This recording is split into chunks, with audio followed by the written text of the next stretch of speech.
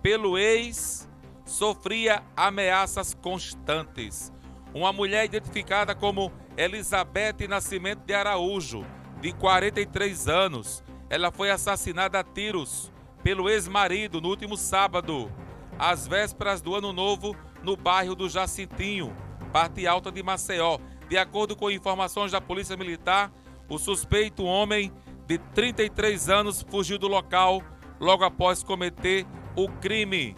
Em entrevista ao Tudo na Hora 1, Vânia de Araújo, que é irmã da vítima, disse que o suspeito, identificado pela família como Evanderson Seixas, de 33 anos, não aceitava o término do relacionamento e que eles tinham se separado por causa de traições do suspeito. Nós temos imagens dessa matéria.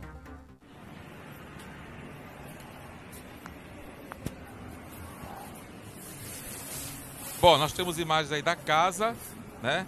Onde morava. A minha irmã terminou com ele há uns três meses e desde então ele vinha sofrendo ameaças. Ela vinha, ela vinha sofrendo ameaças.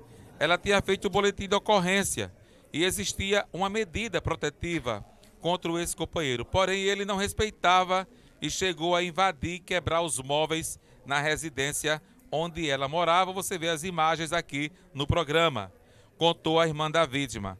Elizabeth chegou a registrar em vídeo como ficou a casa após os móveis serem danificados. Minha irmã não estava saindo de casa, pois aconselhamos ela de não sair por causa das ameaças. Ela mandou diversos áudios para os familiares, descrevendo o medo que sentia de algo acontecer, relatou Vânia. Ouça um dos áudios enviados por Elizabeth relatando as ameaças. Tem não, né? Olha, Vânia ainda contou que a irmã pagou 5 mil reais ao suspeito pelos móveis que eles haviam comprado quando estavam juntos. Segundo Vânia, Evanderson teria usado o dinheiro para comprar a arma do crime. Eles moravam de aluguel e quando estavam juntos compraram alguns móveis. Ele cobrou os valores que dividiu com a minha irmã na compra desses móveis e ela transferiu para ele cerca de 5 mil reais. Quando a minha irmã fez esse pagamento, Evanderson disse que o dinheiro seria usado para acabar com a vida dela. Acredito que ele usou esse dinheiro para comprar a arma usada no crime, acrescentou a irmã da vítima.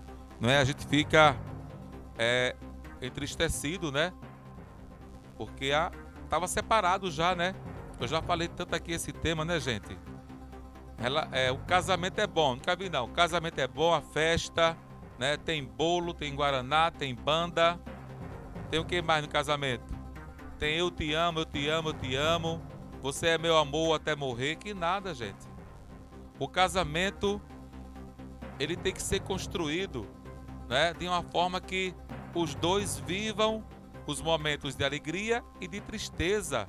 Os dois estejam prontos para enfrentar as dificuldades. Quem falou que casamento é paraíso?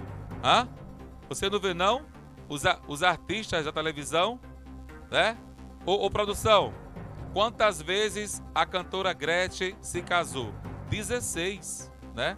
A cantora Gretchen, a cantora Gretchen, a rainha do rebolado, ela tem 16 casamentos. E é no papel, viu? Ela não brinca não. É tudo no papel.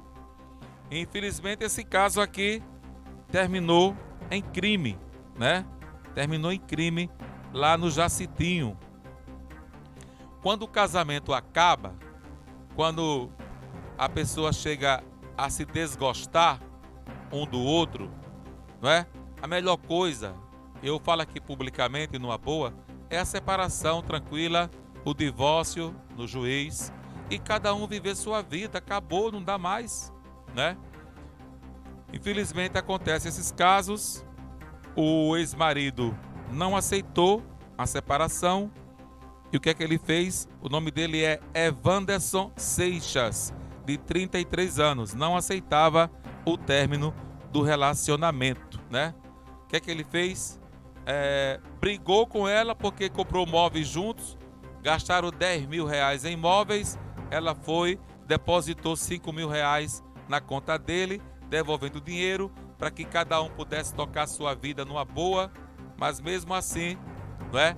Ele pegou esse dinheiro e possivelmente, possivelmente comprou a arma do crime, né? E assassinou a ex-esposa. Gente, não é assim, não é? Hoje você está casado, né? Você tem o seu esposo, tem a sua esposa, mas se por acaso lá na frente o casamento não estiver andando bem, todos os dois têm direito a recomeço, né? Tem direito a recomeço, gente. Cada um deve, deve ter direito a um recomeço. O marido, né, com uma, uma outra companheira, a esposa com outro companheiro. Quando termina o casamento, quando já não dá mais para continuar, to, vocês dois merecem um recomeço. A vida continua, né? Infelizmente, para essa menina lá do Jacitinho, Elizabeth Nascimento de Araújo, de 43 anos, né? Infelizmente ela foi assassinada, ela teve a vida tirada lá no Jacintinho.